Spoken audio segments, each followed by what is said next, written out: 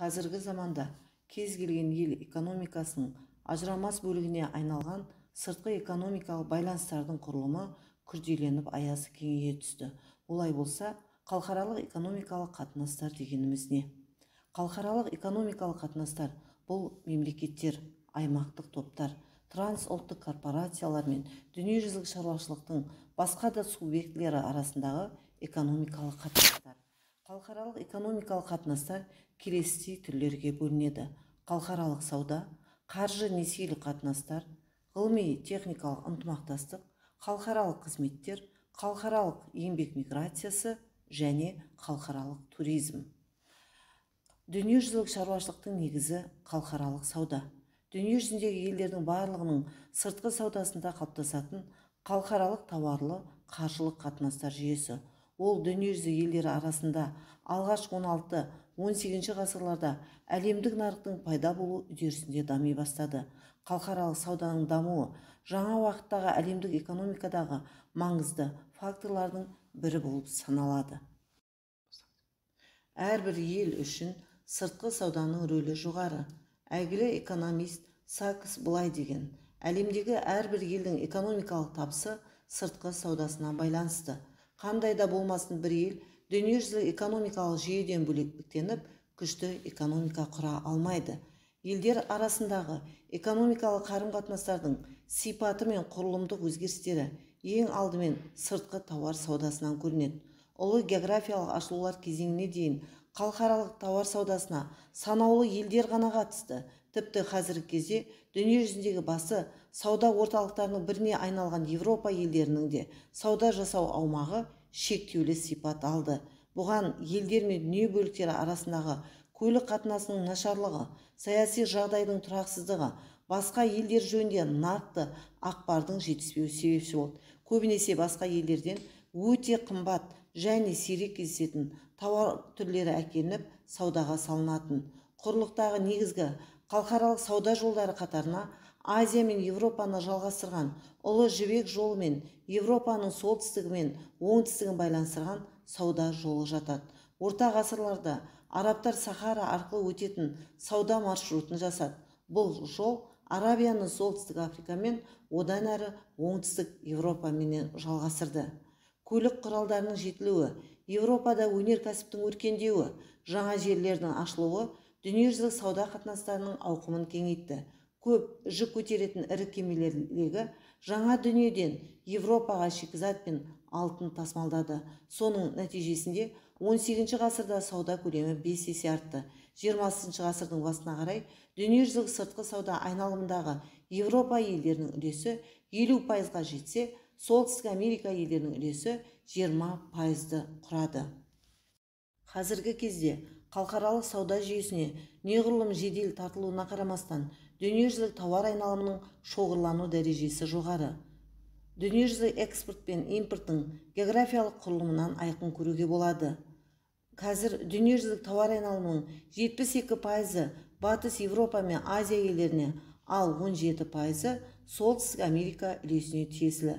Өтпелі экономикалық типтегі елдерге бар болғаны 4 процентті құрайды. Дүниежүзілік тауар айналымында азияның жаңа индустриялық елдерінің үлесі артып келеді. Мысалы корея республикасының әлемдік экспорттағы үлесі жоғары болса импорты одан төмен. Ал сингапурдың үлесі тиісінше 2,3 және 2,2 процентке тең. Жиырмасыншы ғасырдың соңына қарай дүниежүзілік сыртқы саудада дамыған 25 ел жетекші орын алды. Оларға әлемдік экспорттың 84 пайызы импорттың 82 пайызы тиесілі болды. Халықаралық сауданы ұйымдастыру үшін халықаралық сауда ұйымы құрылған. Оған 140-қа жуық мемлекет кіреді. Әлемдік тауар айналымының оннан тоғызын қамтамасыз етеді. Қазақстан халықаралық сауда ұйымына 2015 жылы мүше болды. Біздің ел сыртқа 300-ден жоғары өнім түрін шығарады. Бірақ қазақстан экспортының төрттен үш бөлігін бар болғаны бес ақ тауар түрі мұнай қара металдар прокаты тазартылған мыс бидай және қорытпалар құрайды. Елдің негізгі экспорттық тауары шикі мұнай яғни барлық экспорттың бестен үш бөлігі. Қазақстан импортының құрамы әрі алуан. Ең көп сатып алынатын тауарлардың алғашқы бестігін машиналар мен құрал жабдықтар құрайды яғни импорттың төрттен бір бөлігі.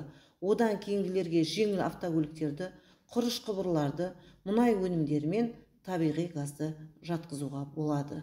Қазақстан өнімдерін негізгі сатып алушылар швейцария италия ресей қытай қытай яғни барлық экспорттың алпыс пайызы тағы осындай мөлшердегі импорт тауарлары россия германия қытай және украинадан келеді. Келесі халықаралық экономикалық қатынастың түрі халықаралық қаржы. Халықаралық қаржы қатынастары әр алуан түрде жүзеге асырылады. Ең бірінші бұл шетел валютасын сатып алу және сату. Шет елдердің ақша бірлігін. Онымен банктер айналысады. Олар шетелдік банктермен белгілі бір мерзімде валюта жеткізуге яғни доллар евро тағы басқа мәмілеге келеді. Оларды ақша айырбастау пункттеріне сату арқылы пайда табады. Ұлттық валюта әр елдің ұлттық ақша бірлігі алтын күміс және қағаз ақша түрінде қолданылады. Ең көп қолданысқа түсетіні қағаз ақшалары. 20 ғасырдың 80 жылдарында батыс еуропада аймақтық еуропалық валюталық жүйе қалыптасты. Оның ақша бірлігі болып экю қабылданды. 1999 жылдың бірінші қаңтарынан бастап еуропалық одақтың ортақ валютасы евро енгізілді. Екінші бұл несие беру немесе несие алу. Олардың көмегімен елдер арасындағы барлық негізгі экономикалық байланыстар жүзеге асырылады. Несиені төменгі пайызбен алып оны кіріс табу үшін пайдаланудың және уақытында қайтарудың маңызы зор. Ондай болмағанда елдің сыртқы қарызы пайда болады. Үшіншіден бұл ұзақ мерзімге капитал салу яғни инвестиция немесе шетелдердің инвестиция салуы. Капитал дегеніміз ақша қаражаты шикізат қоры және құрал жабдықта болып табылады. Ең маңыздысы ол кіріс кіргізуі шарт. Келесі халықаралық экономикалық қатынастардың түрі халықаралық туризм. Адамдардың шет елдерге табыс табудан басқа кез келген мақсатпен жарты жылға дейінгі мерзімде саяхат жасауы. Халықаралық туризм халықаралық экономикалық байланыстардың бір түрі болып саналады. Саяхат жасау мақсатына байланысты ол танымдық спорттық іскерлік болып бөлінеді. 1975 жылы халықаралық туристік ұйым құрылды. Ол қазіргі уақытта 120 елді біріктіреді. Халықаралық туризм көптеген елдер үшін табыс көзі болып отыр. Мысалы франция ақш испания италия қытай ұлыбритания мексика венгрия және канада. Аралдық елдердің ерекше тобын атлант мұхитына жататын кариб теңізінің елдері құрайды. Барбадос гренада багам мальдив сейшел аралдары және жалпы ішкі өнімнің негізгі бөлігін халықаралық туризмнен түсетін табыстар құрайтын ергежейлі елдер монако лихтенштейн және тағы басқа жатады. Халықаралық туризм саласы бойынша қазақстан да көптеген жұмыстар атқаруда.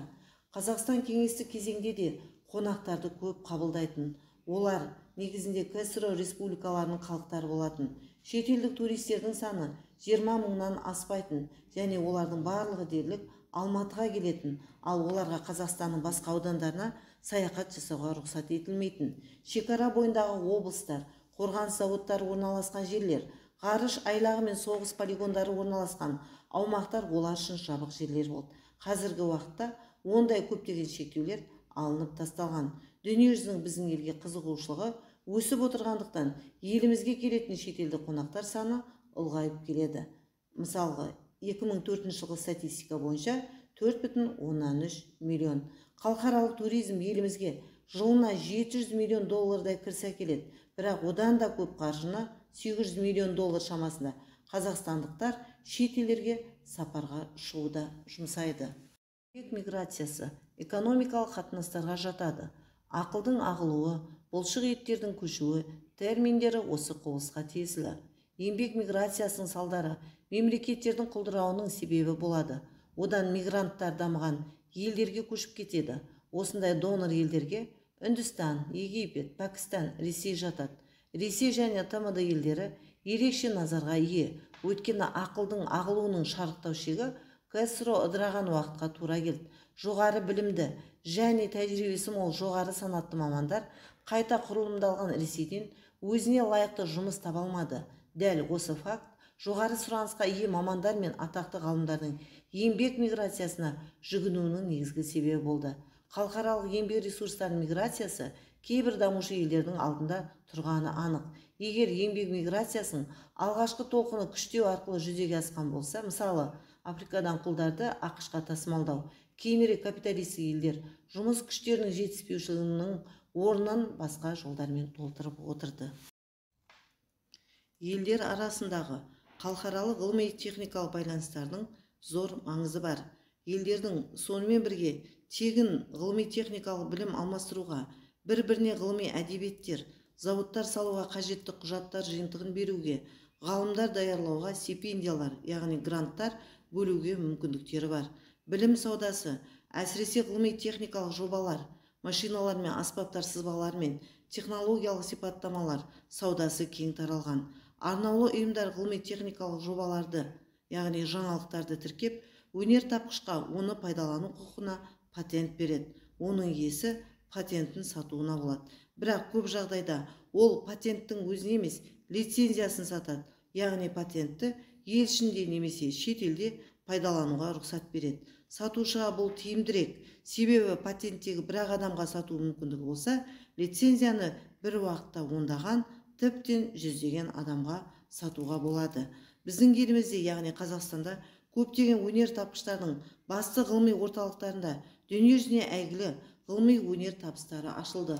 Олардың қатарында түсті металдар ғылыми зерттеу институты ұлттық ядролық орталық мұнай және газ институты химиялық технология және ғарыштық зерттеулер институттары және тағы басқа бар. Дегенмен әлемдік деңгеймен салыстырғанда елдің ғылыми техникалық мүмкіндіктері аса жоғары емес.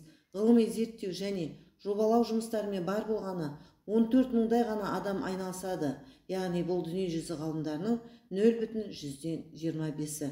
Қазақстанға қазіргі жаңа технологиялар мен жобалар шет елдік компаниялармен бірге келеді.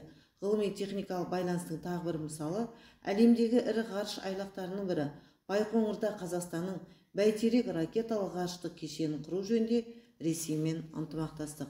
Сонымен жалпы әлемдегі елдер арасындағы сыртқы экономикалық байланыс түрлері туралы мәлімет алдық.